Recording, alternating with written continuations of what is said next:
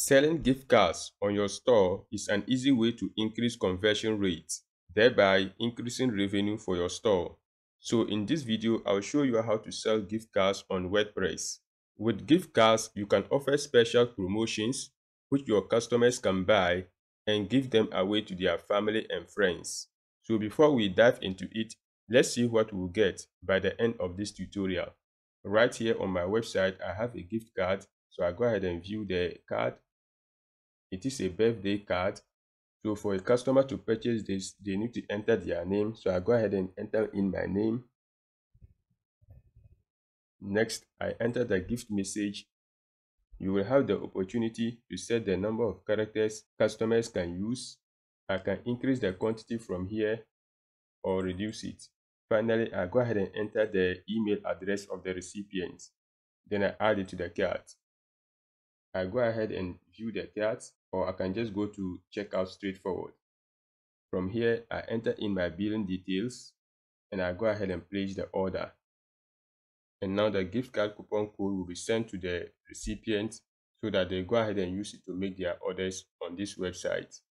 So, if you want to be able to sell gift cards on your WordPress store, keep watching. Hello guys, this is Swadik here at Dikupages Web, where I do web tutorials just like this one. So if you are new here, consider subscribing. That said, let's jump into the video. This is the website where I want to sell gift cards on. And to be able to sell gift cards on my website, I need to install a plugin. To do that, I go to the back end of my website. Then I go over to plugins, click on add new. The search plugins, I search for ultimate gift cards for WooCommerce. And this is a plugin we are going to install ultimate gift cards for WooCommerce by WP Swings.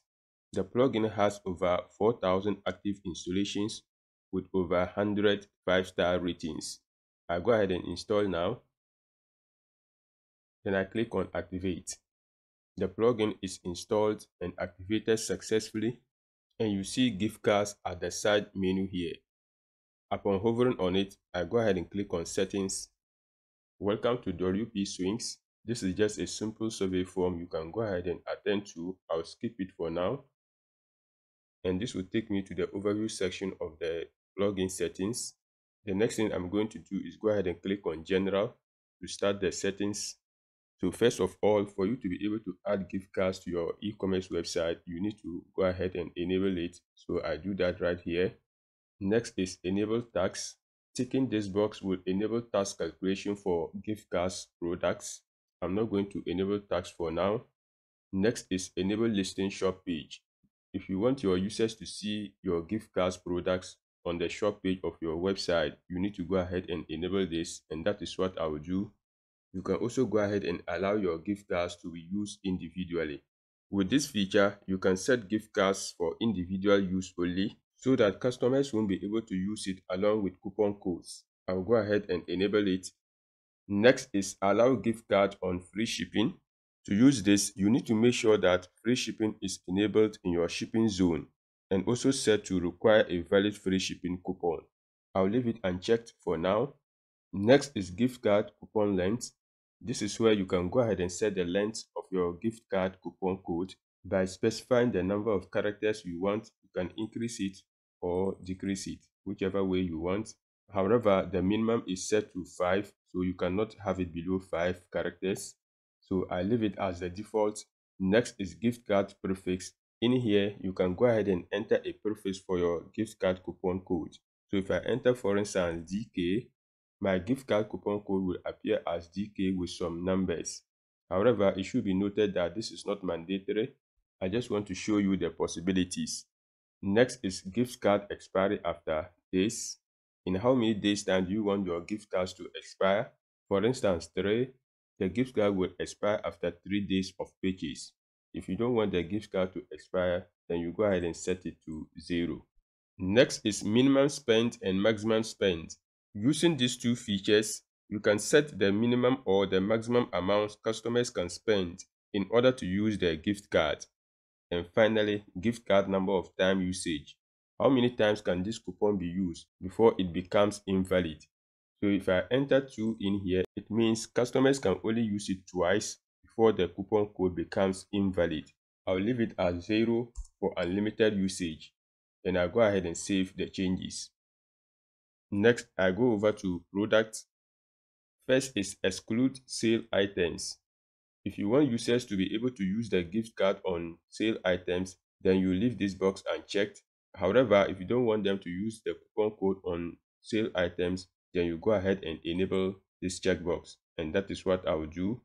Next, I can go ahead and exclude some products and categories that I don't want this coupon code to be applicable to.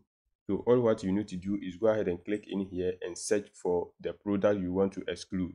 I'll leave these two as they are for now. Then I'll go ahead and save the changes.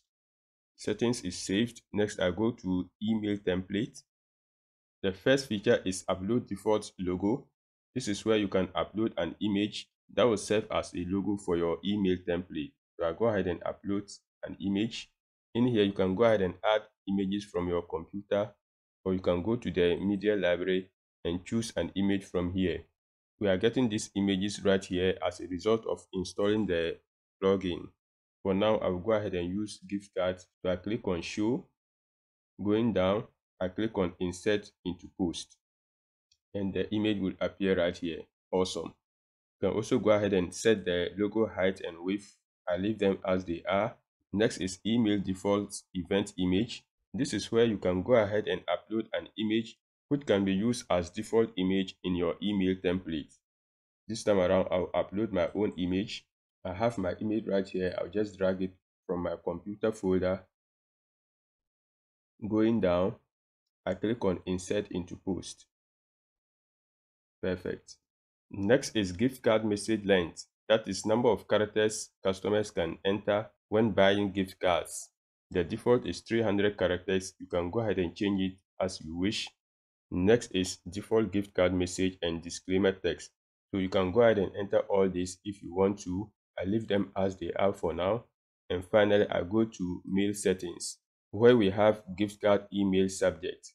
I'll go ahead and enter in the email subject.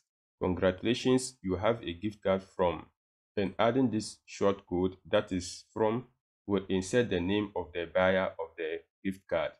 So these are all the settings I want to do. Then I'll go ahead and save the changes.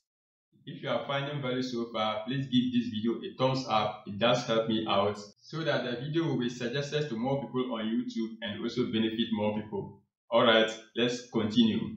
Next is delivery method. Now, how do you want to deliver the gift card to your recipients? In here, you have two options. Enable email to recipient. Email to recipient will enable the normal functionality for sending mails to recipients on gift card products. And the second option is downloadable, which will enable a downloadable feature for gift card products. I'll go ahead and choose email to recipients and I save the changes. Next, I go to other settings in here, you can go ahead and disable apply coupon code fields on cart and checkout pages. That is, if you don't want customers to be able to apply coupon codes. I leave it unchecked. I don't want to disable it. And I'll go ahead and disable preview button at the front end and I save the changes. And that's all the settings I want to perform. I'm not going to go into gift card redeem. Now let's go ahead and check the templates that come with the plugin. So I go over to gift cards and I click on templates. In here, you have the opportunity to use any of these gift cards. Let me go ahead and preview gift for you. This is how the email will look like when it is received in the inbox of receivers. It will display the image, the amount on the gift card, the coupon code. So you see that I have DK, which will be included in my coupon code. The expiry date was set to no expiration. Right here is the gift card message which will be sending to your receivers and we also have the from email and to email awesome i exit out of here the next thing i'm going to do now is go ahead and create my gift card product. So to do that i go over to products then i click on add new. In here i give my product a name. And i give it a product description. Going down under product data i drop down the arrow then i choose gift card. Next, I go ahead and enter my default price. I'll enter 200 and the pricing type is set to default at the moment. You can drop down the arrow and choose whichever pricing type you want. You can choose price range so that you have from price and to price.